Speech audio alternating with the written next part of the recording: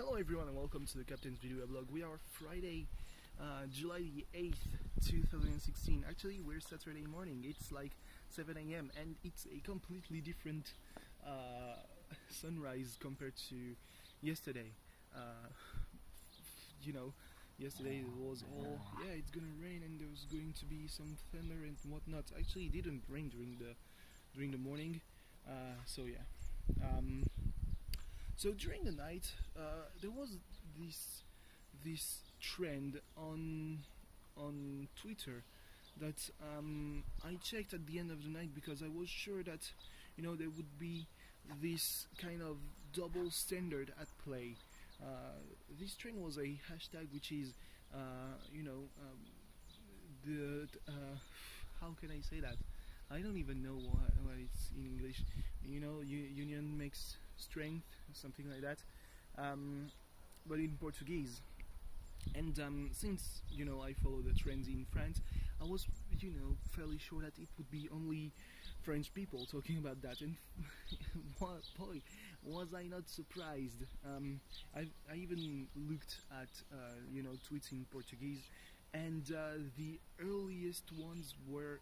Uh, couple days ago, so before training in France. Um, and there's this, Jesus Christ, bugs, am I right?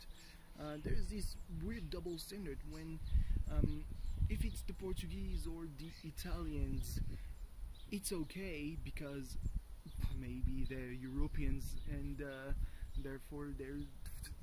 I, I don't even know uh, where this thought is going, but yeah.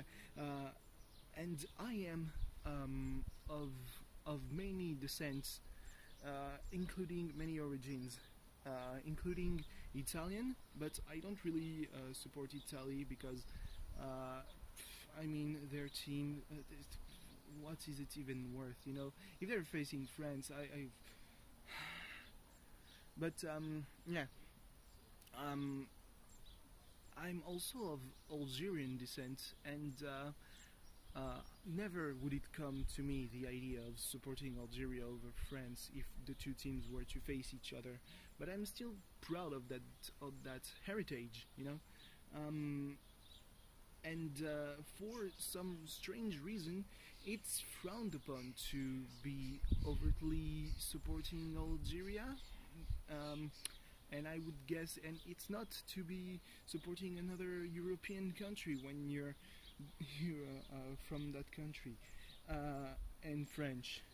And uh, that sounds horribly like you know some kind of double standards because they are European and the Algerians are not. They are uh, also not Christian. So isn't that isn't that a lot of bullshit? Uh, so yeah.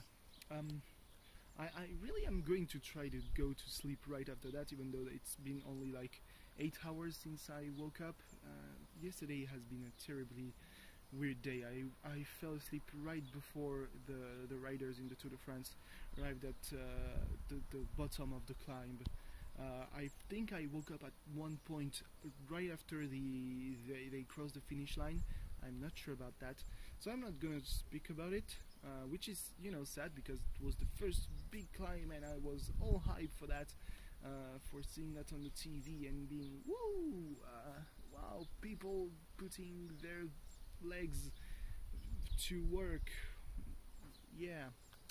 Anyway. Um, so SmackDown, because you know I woke up at midnight, doesn't mean that I couldn't catch up on on what happened. So the opening match was uh, Seth Rollins versus Jey Uso, and Jey was alone. There was no Jimmy. There was nobody from the Anoa'i family uh, because Roman Reigns is suspended. uh, but Dean Ambrose was doing the announcing uh, because why not? Uh, you know, throwing a little bit of of uh, of lunacy on this whole thing because obviously that needed that. Um, it was an okay match. I think it was an okay match. Um, Jey Uso is not uh, a technical monster, uh, so obviously when push comes to shove, uh, Seth has the edge over him, and Seth Rollins won. and then he got confronted by Dean Ambrose. Normal stuff. Uh, there was supposed to be a women's match between Natalya and uh, and Becky Lynch, but Natalya attacked Becky Lynch because obviously she would she would do that. Uh, um, so no no no women's match. Great, wonderful. Uh, not even something to advance. You know the storylines going on to to uh, to you know battleground when there's apparently going to be two uh, women's matches, one being Natalya versus Becky Lynch, but you're not advancing things a lot when you're not even having a little promo. Uh, so yeah, uh, there was uh, Zack Ryder capitalized for the second time in a week uh, on on on Sheamus and then he said, "Yeah, I'm going for the U.S. title because why not?" Uh, yeah, I mean it's okay. I mean, uh, Zack Ryder, more than anybody, has uh, definitely the underdog factor about him. Like you know, uh, it's not even the underdog at this point. It's he's pretty much a zombie when you think creatively.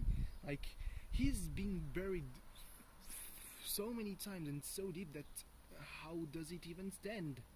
Uh, so yeah, it's really great to see 2016 uh, and seeing seeing him have more than one opportunity in a year, uh, even though he's probably going to jump to Rusev.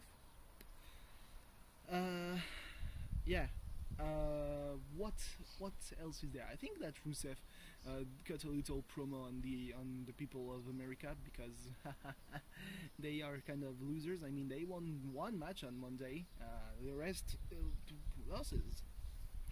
Um, Sami Zayn faced uh, Chris Jericho and won in the main event.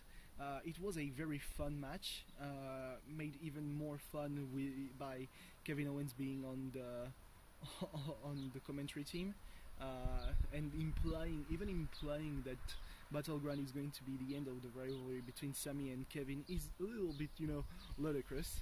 Uh, it's going to, I, I hope that it's going to culminate at WrestleMania or at least at SummerSlam because you know it would be great if for a championship that would be even better. Um, what do I forget?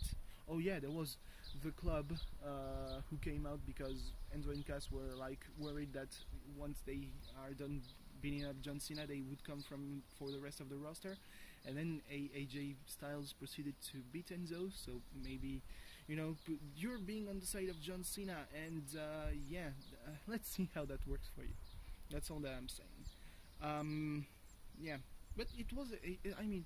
Um, it, it seems like the club have found themselves on the microphone not yet as a unit uh, because they are fighting the underlings and not the boss which is you know kind of something that always happens with John Cena but you wish that it would not happen that much.